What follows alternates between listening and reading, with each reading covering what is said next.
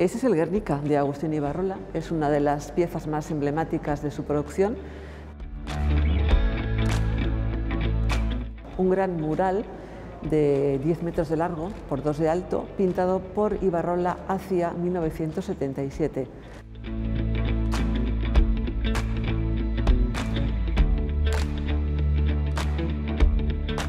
Ibarrola es uno de los grandes autores del arte vasco de, de posguerra.